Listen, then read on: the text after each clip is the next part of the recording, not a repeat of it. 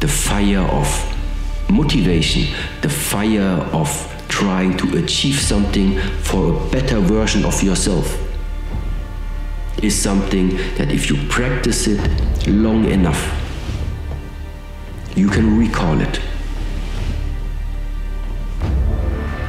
Because you have that fire inside of you. Strong mind goes together with strong body. I think there is a similarity with it. Because you cannot reach to have a strong body if there is not the fuel behind it that gave you the push, the motivation to do so in order that you finally develop in that direction. If you're struggling right now and you're having a hard time and you're pissed off and you're frustrated, know two things. One, you're not alone. Two, this is necessary for you to get where you want to go. And if you quit, if you falter, if you stop, all of the pain will be for nothing. And you need to remember that. When it feels scary to jump, Ian, that is exactly when you jump. Otherwise, you end up staying in the same place your whole life, and that I can't do.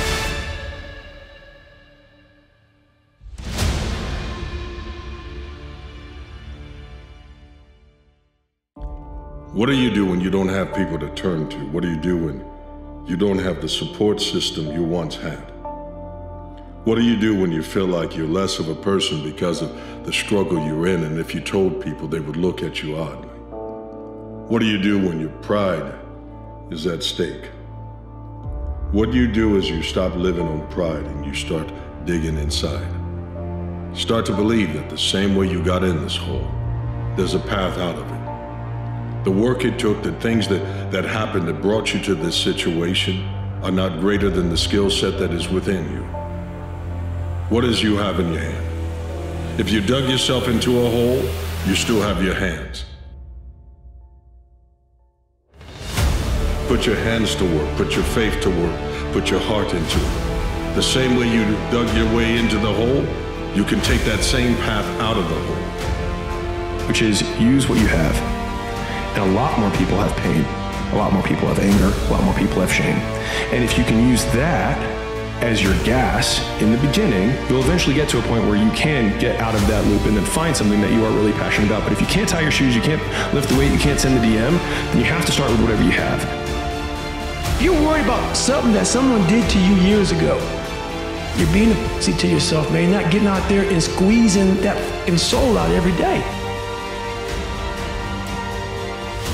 I ain't got time about you, man. Because tomorrow, I got to go back to the grind. And tomorrow, I go back to the grind again, and again, and again, and again. I don't have time to put you into the hate bank. There's no hate. It's all filtered out, man, through the grind.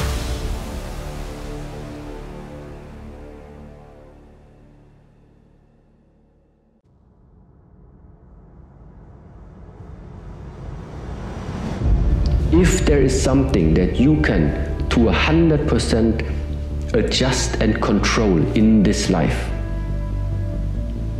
it can only be yourself. If there is something which is a hundred percent in your control, it must be yourself. What else should it be? And so, if you think there is a possibility to master something, take responsibility of something, then I think it is it must be related first of all to your being. You know how you got there. You know the situations, you know the circumstances, you know how it began to overwhelm you. Since you know that, put the knowledge to use. Stop being afraid of it. Don't create this monster that you think that you can't face. The idea of going broke, if you've been broke, you're at the bottom. If you're at the bottom, you can look up. And if you can look up, you can get up. And if you can get up, you can stay up. And if you can stay up, you can climb up. And if you can climb up, you can create a platform. And if you don't get up in the morning when you're feeling tired, scared, if you don't execute, you're not just cheating yourself, dude. You're cheating your family. You're cheating your whatever you're a part of. It's bigger than you, man.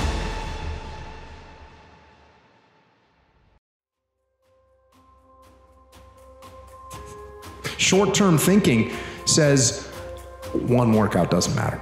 I, I can skip it. Short short term thinking encourages you to make short term emotional decisions that hurt you in the long run. The further from the path you will stray.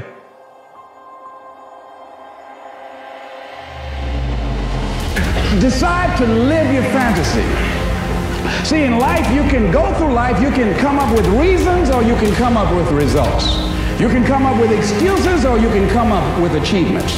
You can go through life blaming or you can come up with solutions. The choice is in your hands satisfaction or despair. We can choose that. Your dreams are just around the corner, but you gotta get out of the nightmare. You see, the greatest thing that you have is you. It's the tool that God gave you.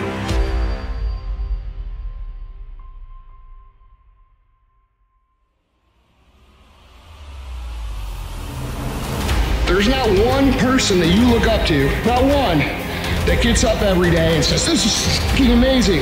I can't wait to do this, no matter what they tell you on social media. They still have bad days. They still have days where they want to do something else. Difference is they don't because they're committed.